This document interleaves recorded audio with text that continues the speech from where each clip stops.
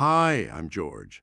I would like to introduce to you Solexir Technology, which specializes in the production of high-purity chemicals for large segments of industries.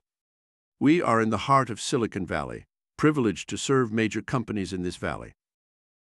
In current semiconductor process technology, the principal objective in electronic chip fabrication is minimizing chip size to enhance electrical communication among diverse devices and reduce power consumption.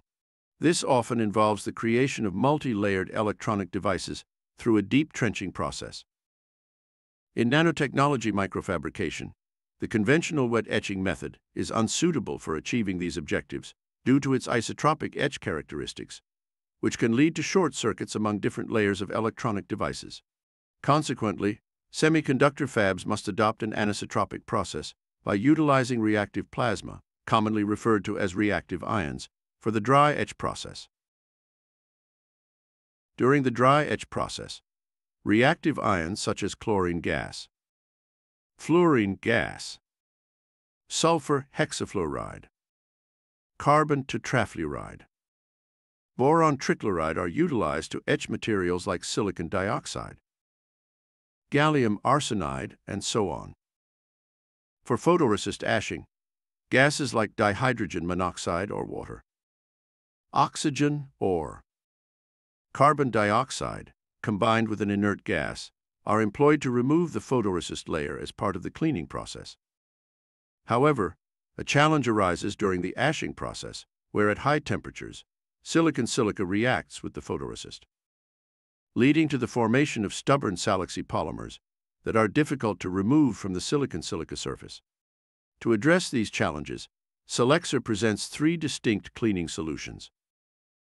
Solexir offers post-dry etch hard polymer cleaners such as Prime Cleaner 10A, Prime Cleaner 10B, and Prime Cleaner 10C.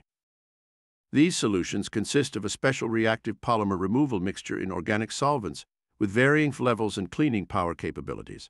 Depending on the employed masking process, the selected molecular structure of the photoresist, the baking temperature, and the desired thickness, users can determine which Solexir Prime Cleaner is most suitable for their process.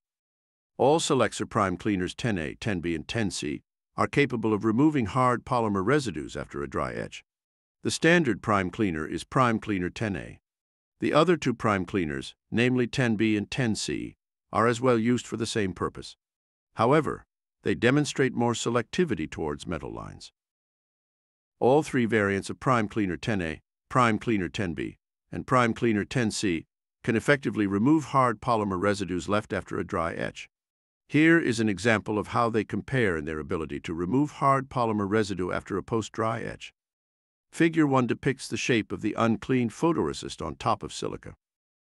Figure 2 illustrates the cleaning process of contamination after dry etching, both before and after exposure to Solexir Prime Cleaner 10A. We invite you to visit Solexir Technology and discover more about our cutting-edge cleaning solutions. Our team is ready to provide you with in-depth information and address any questions or specific requirements you may have. Visit us at solexir.com or contact us at info at solexir.com. Thank you for your attention. We are looking forward to addressing your needs.